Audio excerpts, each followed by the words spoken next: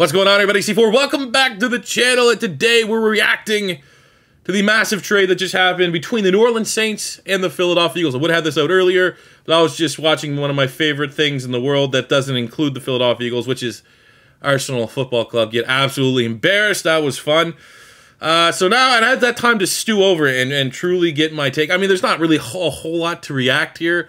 Philly has traded picks 16 and 19 in the first round this year, as well as a sixth rounder to the New Orleans Saints for pick 18 this year, a third rounder this year, a seventh rounder this year, a first rounder next year, and then in two years, a second round pick. Everyone knew all along it was the worst kept secret in the NFL that Philly was going to trade out of these picks. There was no way Philly was going to keep three first rounders, and they did business. They basically, you know, the fact that we got pick 18 back was, I think, better than expected, but that's that's the going rate. But essentially, we just got rid of a pick. We kicked the pick down the road, and basically the Saints, the cost of doing business, a third and a second. Um, I'll take that. I'll take that every day of the week. Uh, quickly, just what it means for the Saints, because obviously we want to talk about the Eagles here.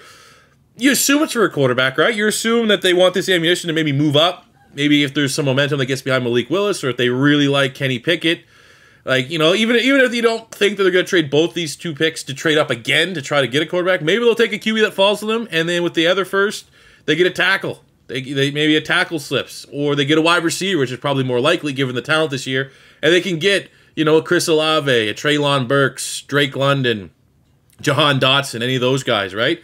So I think the Saints have a lot of holes, and I would say ultimately the Saints are not the best team when it comes to drafting. They're not terrible. I, I just feel like in terms of valuing their picks, they're not the they're not the most conservative. They gave two first round picks to get Marcus Davenport, you know, who's a project edge rusher, who's you know a solid guy for them now, but you know, I, I never thought that the Saints properly valued their future draft capital, and, and we saw that here again. But that's good. It works out well for my Philadelphia Eagles. Looking at it from the Eagles standpoint, I mean, if you're a Saints fan, you're watching this. I'd, I'd love to hear what you guys think you do at those picks. I don't think it's crazy to think that maybe they rock and roll with Winston and they use 16 and 19 to fix the holes on their team, be it at offensive tackle, wide receiver. You could say that they need, you know, a line, you know, I don't want to say linebacker, but they could look somewhere in the secondary. But I, I, would more so tackle. You could you could get a tackle at 16 and a wide receiver at 19.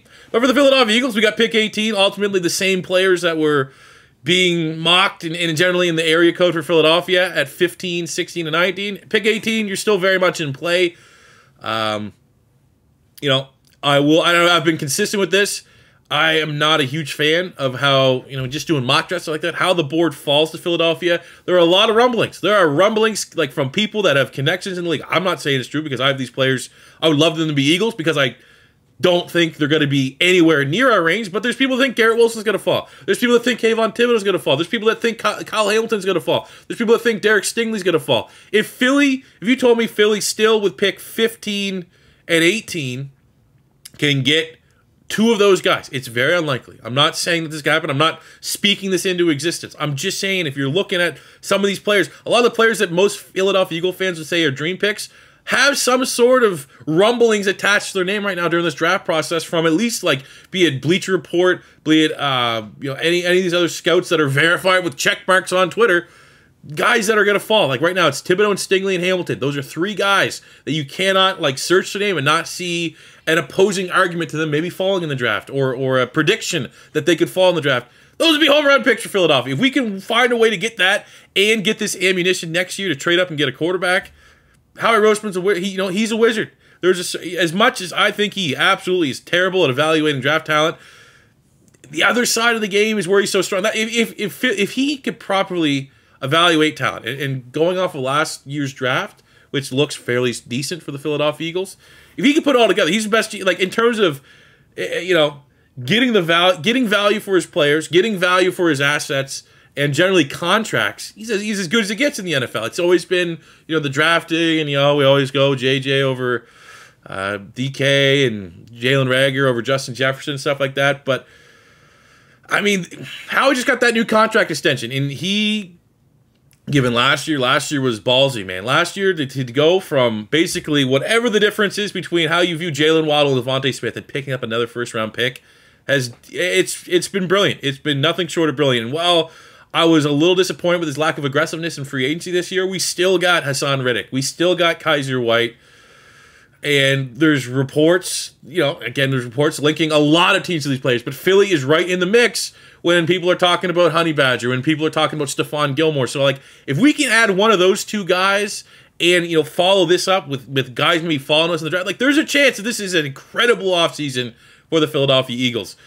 And the, you know, the the, the overall, as we see all these picks stand for Philadelphia, is like, what does it mean for quarterback? Clearly, they're making this move for quarterback, and I don't revel in the the fact that it does seem like the higher ups in Philadelphia agree with me because it's it's a incredibly divisive topic right now in the Eagles fan base. It really feels like it's split. There's 50% of the people that think Jalen Hurts is the franchise quarterback, he's a future god, and they, they bring up like, oh, last year was pretty much his rookie year. And then you have you know, I'd probably say it's like 70 30. Like 70% of the fans, and that includes a lot of the casual fans, are getting behind Jalen Hurts and think he's going to turn it around and develop into this monster. And then about 30%, which unfortunately I'm in, think that, you know, he's a great guy, but I don't know if he's a quarterback that takes it to the next level. That, more so, my opinion has always been I think Jalen Hurts, even since he came out of Oklahoma, obviously went from Alabama to Oklahoma, but the Oklahoma was like his last final college prospect going in the draft the limitations that he's had at Oklahoma are the same limitations he's had in the NFL. You haven't really seen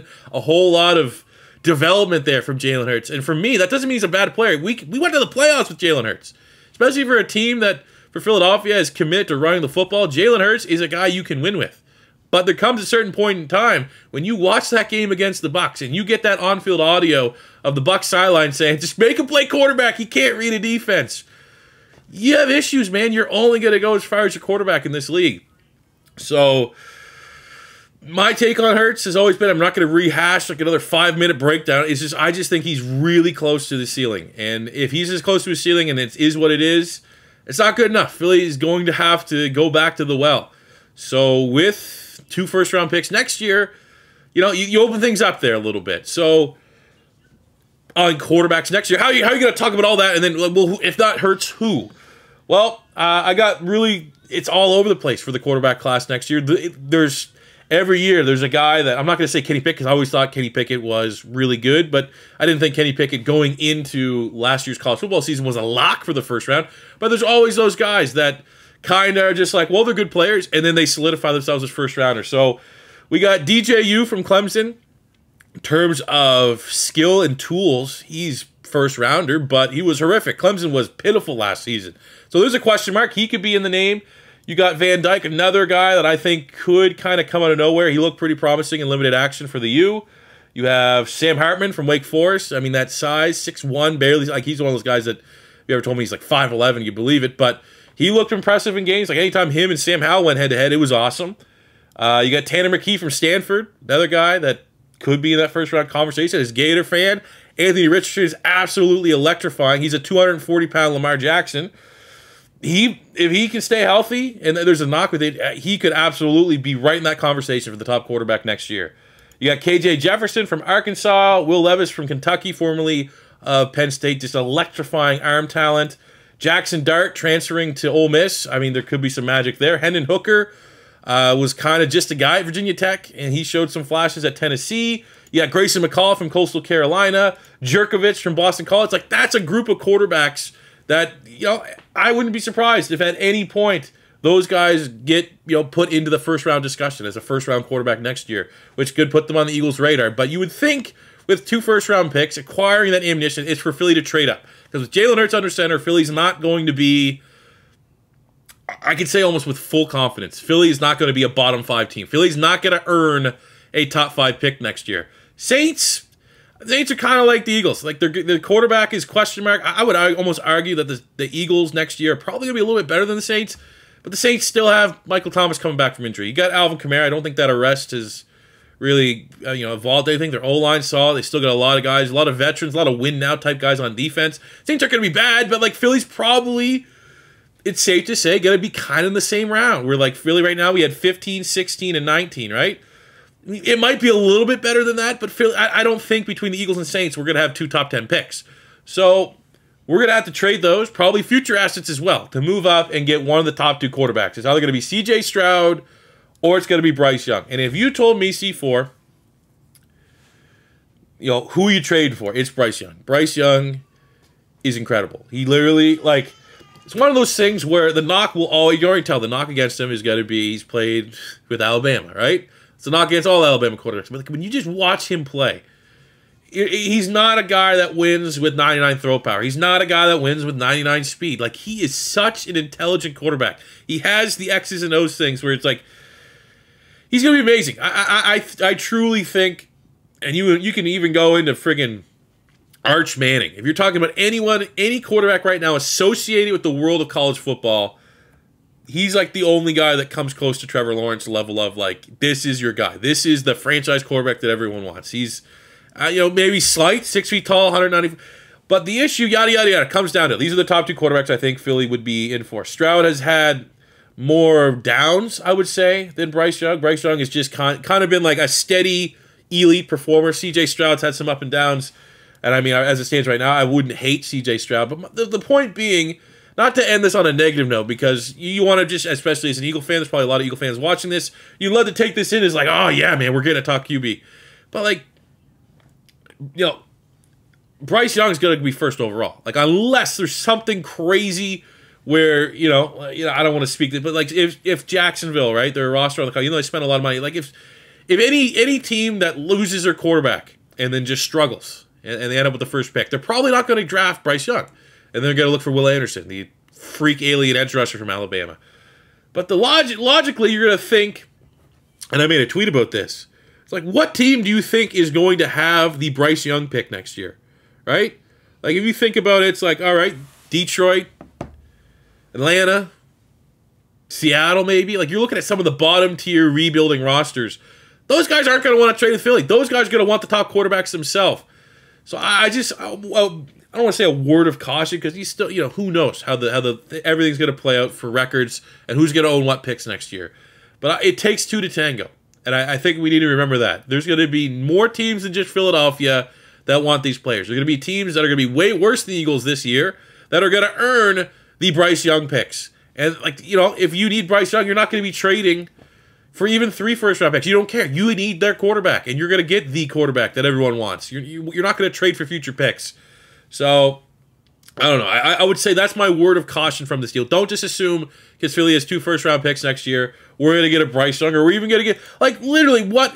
I'm not. Gonna, this is not a worst case scenario. You might want to familiarize yourself with all these guys. I would say prepare for that because just you know, let's just say right now, you're looking at rebuild teams. We'll say Seattle holds number one. Atlanta holds pick number two. These guys are gone. Those teams aren't going to be wheeling and dealing. Those these guys are gone. So it's I'll just say a word of caution is just don't assume that because we got two first we're getting Bryce Young or we're getting C.J. Stroud. A lot of those teams that are going to be in the conversation for these players might get the actual picks required to get these two players, and then Philly's left with two first round picks again next year with like, oh, well, what do we do? So I, I don't know. Want to be doom and gloom. I don't want to just be negative right out the gate, but I think it's going to be advisable to be prepared for worst case scenario and that we're you know we're gonna have two first round picks and might still be on the outside looking in for some of these top quarters and i'd love to hear what you guys think about this trade for the philadelphia eagles uh, obviously, you know, not not a lot changes. Not like you need to do like a re brand new Eagles mock draft. We're still actually in the exact same bubble of draft of, of, players, available players and mock drafts and stuff by moving 16 and 19 to get pick 18. But uh, love to hear you guys think about it in the comment section below. Thank you very much for watching. As always, first time stopping by, don't be afraid to hit that subscribe button, smash the like button if you enjoyed. Until next time, it's C4 saying peace out.